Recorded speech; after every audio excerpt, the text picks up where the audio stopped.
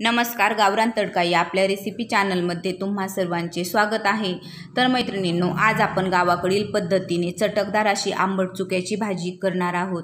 त्यासाठी ही पा अशा प्रकारे ही भाजी असते आणि त्यासाठी ही भाजी मी शेतातून तोडून आणून स्वच्छ तीन ते चार पाण्याने धुतलेली आहे जेणेकरून तिला अजिबात माती राहणार नाही. अशा प्रकारे ही भाजी धुवून घेतल्यानंतर आता ही भाजी आई कापत आहेत. तर कापण्याआधी ही भाजीची फक्त आपण मुळच फेकून देणार आहोत. कारण बाकी ही सगळी भाजी कोवळीच असते. अशा प्रकारे सगळी भाजी आपण इथे कापून घेणार आहोत.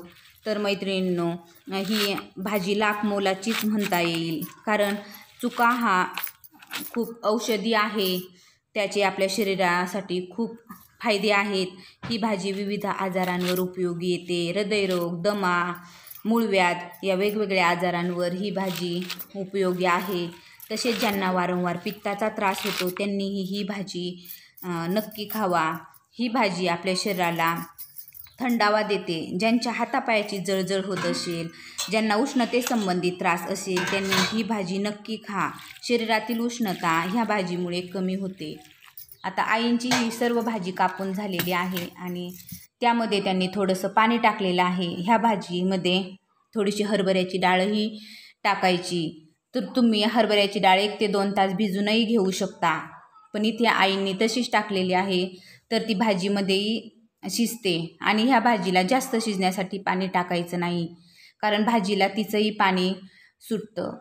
तर आता ही डाळ आई भाजीमध्ये एक जीव करून घेणार आहेत आणि त्यावरती झाकण ठेवून ती भाजी आपली पाच ते सहा मिनटात शिजणार आहे.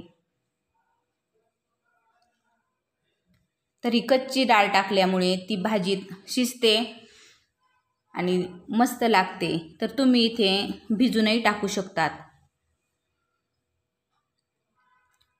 पाच ते सहा मिनटानंतर तुम्ही पाहू शकता आपली ही भाजी खूप छान अशी शिजलेली आहे. त्यामध्ये जास्त पाणी टाकलेलं नव्हतं म्हणून तिला जास्त पाणीही सुटलेलं नाही. खूप छान आपली ही भाजी आज शिजलेली आहे. तर आता ही कढई चुलीवरची खाली घेऊन आपल्याला त्यामध्ये बेसन पीठ मिक्स करायचं आहे. तर या भाजीमध्ये थोडंसं बेसन पीठ टाकलेलं आहे आणि आता ते सर्व चांगलं असं एकजीव आपल्याला करून घ्यायचं आहे. बेसन पिठामुळे आपल्या भाजीला घट्टपणा येतो. तसेच भाजीचं थोडंसं आंबट जी चव असते तीही थोडीशी कमी होते. तर त्यामध्ये थोडंसं पाणी टाकून आपल्याला ही चांगलं असं एकजीव करून घ्यायचं आहे जेणेकरून बेसन पिठाची एकही गुठळी यामध्ये राहणार नाही. तुम्ही पाहू शकता खूप छान अशी एकजीव होत आलेली आहे. बेसन पीठ आणि भाजी तसे डाळही मस्त अशी शिजलेली आहे.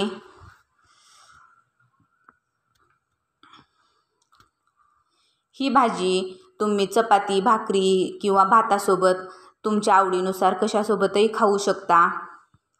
तर आता फोडणीसाठी इथे हिरव्या मिरच्या जिरे लसूण मीठ आणि शेंगदाणे घेतलेले आहेत. याची मिक्सरमधून मी पेस्ट करून घेणार आहे. तसेच आता फोडणीसाठी कढईमध्येही मी दहा बारा लसणाच्या पाकळ्या टाकलेल्या आहेत आणि वाटणामध्येही मी लसूण वाटून घेतलेला आहे. तर हा लसूण थोडासा परतल्यानंतर आपल्याला मिक्सरमधून काढलेली सर्व पेस्ट यामध्ये टाकायची आहे. हिरवी मिरची मीठ शेंगदाणे जिरे आणि लसूण याची ही पेस्ट करून घेतलेली आहे. ती आपल्याला आता छान परतेपर्यंत आपल्याला ही चांगली हलवून घ्यायची आहे. शेंगदाणे आणि हिरवी मिरची यामध्ये असल्यामुळे ही फोडणी परतण्यासाठी तिला दोन ते तीन मिनिट वेळ लागतो. पूर्ण हिरव्या मिरचीचा आणि शेंगदाण्याचा रंग बदलेपर्यंत आपल्याला ही फोडणी चांगली परतून घ्यायची आहे.